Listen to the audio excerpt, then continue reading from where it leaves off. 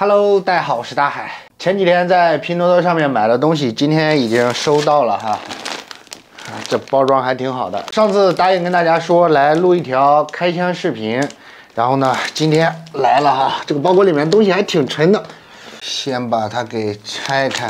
我感觉这个里面应该是一个汽车坐垫。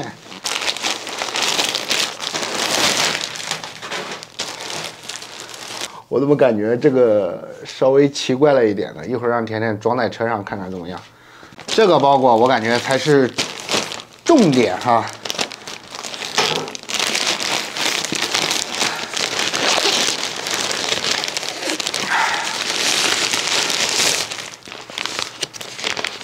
给大家来看一下，这里面东西好多啊。这个包装还是挺不错的，用这种密封袋。我就一样一样把它打开，看看里面是什么。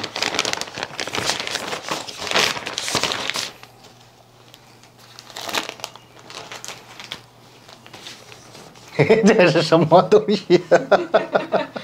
这个是什么？这个是我准备用来收纳被子的收纳包。哦，哦，现在我反应过来了。应该给大家看一下，这样看一下。这样看还是比较大的。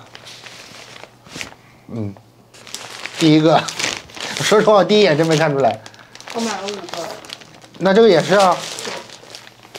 第二、第三、第四、第五，我都没有发现。然后呢，这个就是一个按摩棒哈，就是敲敲腿的这种。给，你就比较迷信这种东西。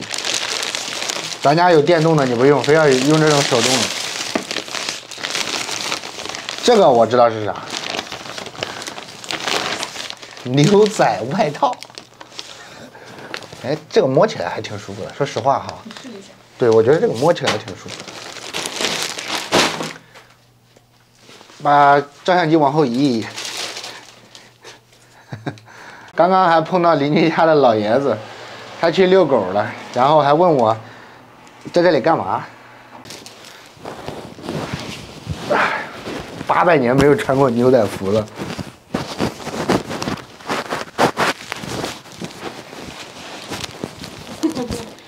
现在精神小伙。怎么样？可以吧？我觉得里面配个灰色的。对，灰色应该好看。这个，但是还可以，挺好看的吧？我觉得。大小可以。大小可以。我买的是两个叉的吧？好像。它这个码好像是国内的码，跟这边的码还是有点区别的。在这边，如果像我买普通的衣服，我只要穿 M 或者是 L，L 呢就可能稍微大了一点。那这个还行，但这个牛仔服感觉还可以，摸起来软软的。好，放这啊。这一双呢就是拖鞋了，甜甜给我买的，试一下。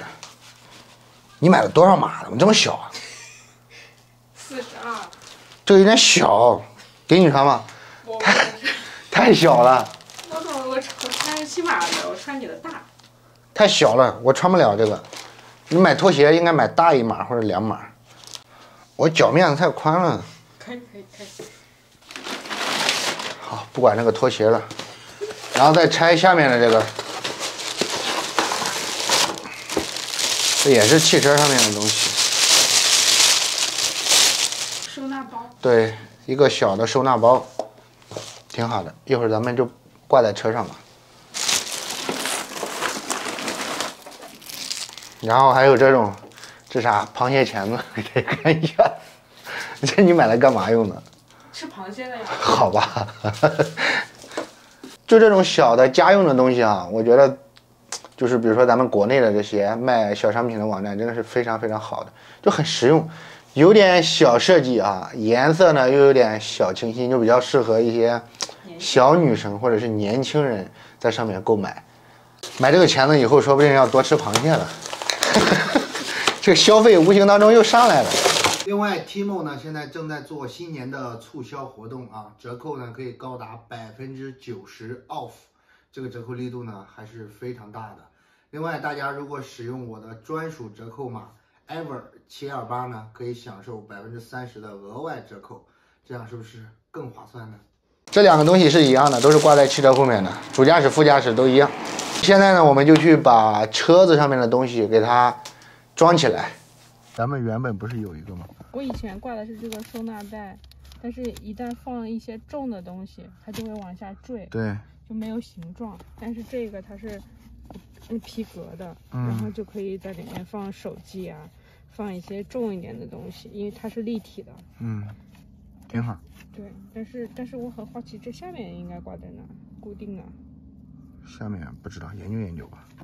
下面就是我们买的汽车的坐垫，你买的时候有没有量啊？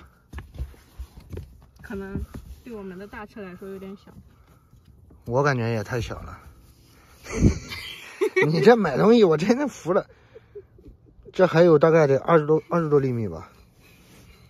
这不行不行，放小车上面吧，一会儿装小车上面，这样铺起来太难看了，对不对啊？对。放小车上面吧。不是，嗯它嗯只有这一个尺寸。啊，我当时心里想说，如果它小的话，它肯定就是跟小车是通用的。对，那就给小车用吧，大车不用了。但是摸起来还行，我就把它收起来了哈。拿小车上去。这个汽车坐垫放在小车上面刚刚好，这尺寸还可以的。因为我的小车买的呢就是布的，所以有时候你看这上面都很脏，我也不知道是什么时候，就是谁坐在上面搞的。然后买了个汽车坐垫以后开小车的话也不怕，就是说上面撒一些脏东西啊干嘛的，这个挺好的。今天直接在门口就给来给大家拍拆箱了，太乱了。我们这次买的东西呢，都给大家来拍完了。以我这次开箱的经验来说，我觉得在这个网站上面买一些家用的产品，就真的会非常不错，就是那种小配件啊，或者是说一些实用性的东西，比如说我们买的那个螃蟹钳子，像那种东西就真的挺不错的。但是稍微大件一点的东西哈，比如说像汽车坐垫，大家一定要量好尺寸啊，看好网站上面的尺寸，不然呢就会出现我和甜甜这样的尴尬事情。另外，Tim 呢还有一个九十天以内免费退换货的一个福利，这个也是非常，这个对于消费者来说呢也是很好的啊。